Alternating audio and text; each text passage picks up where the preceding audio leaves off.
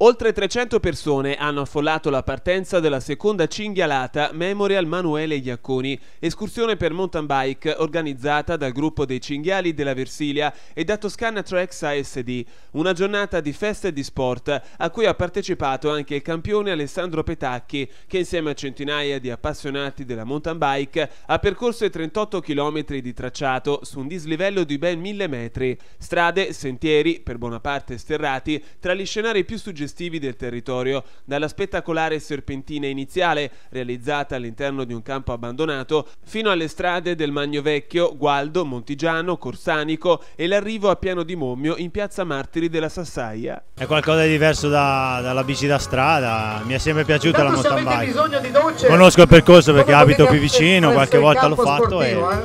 niente auguro a tutti un buon divertimento. Ho visto stamattina ci sono molte persone da fuori questo come dire come amministrazione comunale ci fa, ci fa enormemente piacere perché poi eh, l'aspetto turistico insomma sono cose su cui noi puntiamo molto e vogliamo insomma in qualche modo cercare di valorizzarle il più possibile. Prima di dare il via ufficiale alla pedalata gli amici e la famiglia di Manuele Iacconi insieme all'amministrazione comunale di Massarosa hanno portato un mazzo di fiori al cimitero per ricordare il ragazzo ucciso a colpi di casco la notte di Halloween del 2014.